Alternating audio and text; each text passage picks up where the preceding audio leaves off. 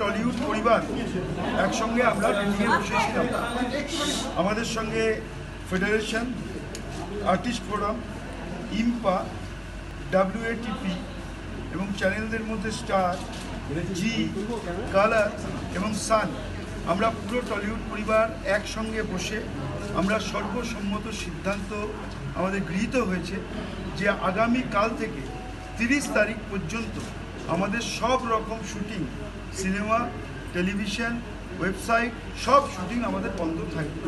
আমরা আগামী তিরিশ তারিখ মুখ্যমন্ত্রী আবার মিটিং করবেন। তারপরে সেই মিটিং শুনে তারপরে আমরা আবার বসব, বসে আমরা পরবর্তী সভায় আবার আমরা সিদ্ধান্ত গ্রহণ করব।